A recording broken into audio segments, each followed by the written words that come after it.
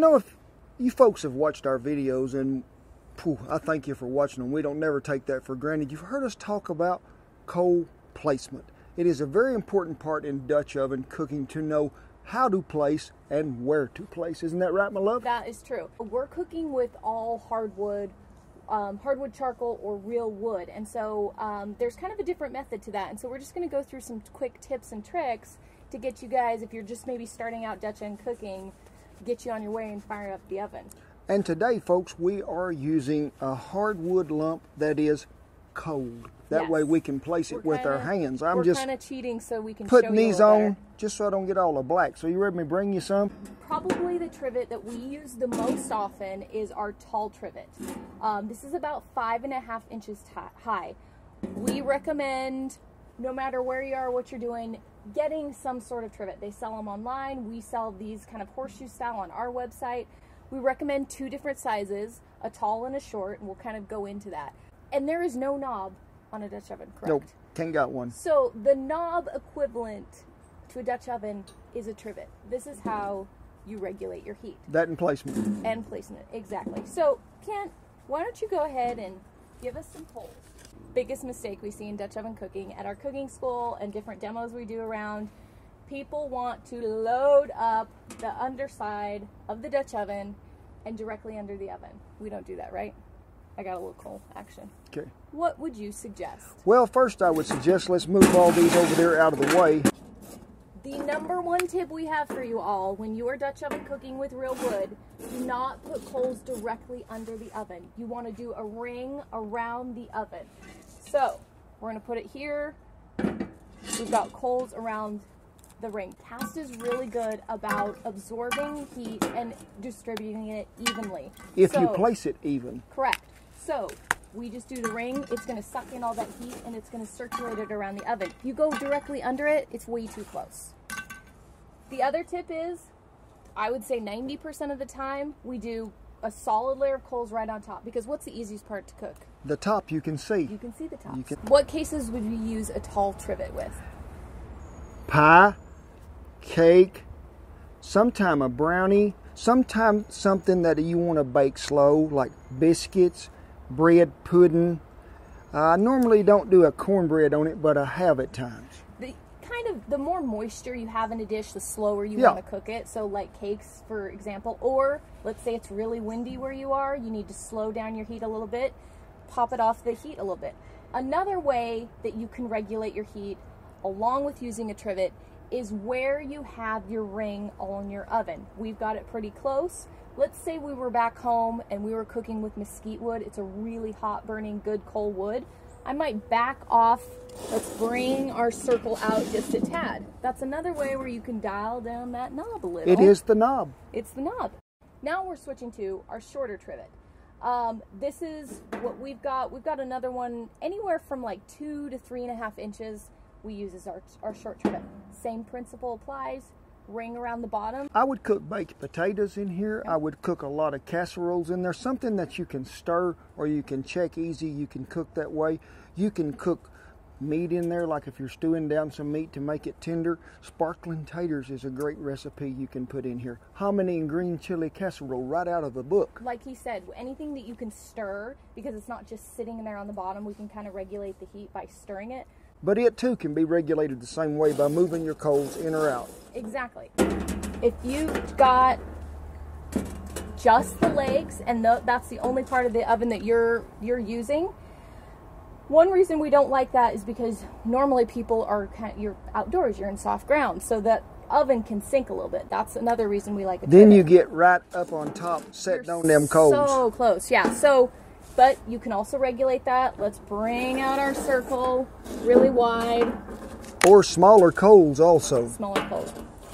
A big thing, and you'll see people that Dutch oven cook do it all the time, is rotation. Because when you're cooking with hardwood, there's not specific size pieces. You're going to get different clumps of all size. So you always rotate the bottom one way, and you rotate the lid the opposite way. That way, you're evening out any hot spots that might be there. What you got going on there? all- This is my hot spot dance. There we go. Yeah. Hey Shan, Hey, Kent. let's cook a cake. And when we mix this cake up, I like it moist, so let's put like a big old dollop of sour cream in there to give it some moisture. Whoa, you like a challenge. I do. Okay, so we've made a cake and we put our circle of coals and we're going along and we've rotated. But let's say as something cooks, we're noticing that, hey, one side is a little bit hotter or this cake is cooking a little more on this side on the bottom. What do we do? Well, we're going to target some heat. We're going to what? Target our heat. Just like a radar, pull it in on the scope and let it happen. So, say we're needing to get it done on this side a little faster. You can't do this with your fingers, but you can do it with a good lid lifter or something like that. Move your heat to wherever you need it focused. And Right. that's top is easy to do. You can do the same thing on the bottom. A lot of times with biscuits, I'll notice the outside of the top gets done last. Yeah. So I'll just move all my coals to the outside ring. A lot of times when I cook a cake, because there's so much moisture in it, the middle ends up being gooey. Jiggly, It's jiggly. jiggly. Yeah, it's it can be super jiggly, and then people start to panic, and mm. I've been in that situation. You So walk up to it there and you take the lid off and you give it just a little peck with your lid lifter and you'll see it get the jelly shakes. Yeah, So we're going to put us a little heat right up here in the middle. But I'm going to put me some heat right there under the bottom in the middle. so you've got targeted heat on the top, you've got targeted heat on the bottom, and it's gonna just cook that inside that's having a little trouble getting done. Yes. Now this can be a slow process. I've seen this take quite a while, but don't rush it. Don't try to get in no hurry and just think, well, I'm gonna call it done, even though it ain't. You can get that jiggle out of it, top and bottom, and get that cake to set up anywhere you want just by targeting your coal placement. One thing we forgot to mention too, if the wind's blowing, all this is going to come a little more fast and furious. You may have to pull them away, put them back. Wind creates so much more heat on one side of an oven, but you're losing it on the other side. Yeah, you can microwave really fast in, in wind, and in Oklahoma, we got a lot of it. So We get some of this kind of weather. yeah, also gonna want to rotate our oven more frequently. Yes, if the wind is blowing. Um, and I will say, 90% of the time when you are Dutch oven cooking, you're going to cook your dish faster on the bottom than you will on the top. And the Yep. reason for that is your your food is right here and you're you're most in direct line with Heat rises. Yep. So what we do is we look for those cues. Let's say I'm, we're baking a cake. It started to pull from the, the outside away from that cast iron. It's setting up. That's when I know we're going to take it off the bottom heat. Then what we're doing is we're we've got our top heat still on.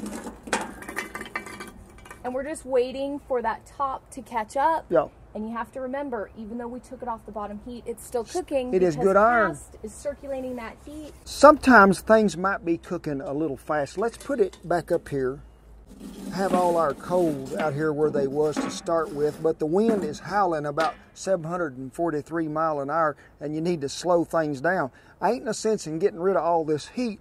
Let's just be very careful so your cake don't fall, and let's set it off the heat just a little. Let it sort of cool down a minute. We can always go back, but just let it. You may have to let it cool off just a little, and bring it back. And Kent always says you can always add more heat, but you can't take it away after it's already burned. I really like cooking like this when it's not hot. Oh yeah, it's not and you can you can pick these up. I they don't it. hurt. You know, don't make a sweat. But folks, we we hope you learned something from this. Coal placement is so big in cooking in a Dutch oven, and rotation, practice, practice, more practice. It is the best thing in the world. It's it's best if you can just get out there and enjoy it in the backyard. Get the family together. That's what it's all about. And uh, don't be afraid to start. That is that is the best part of it. Just get started. And uh, we don't take for granted you're here to watch. We appreciate it. Reach up there to that top right, left corner. Well, I don't know which corner it's on. Hit subscribe. We would appreciate it.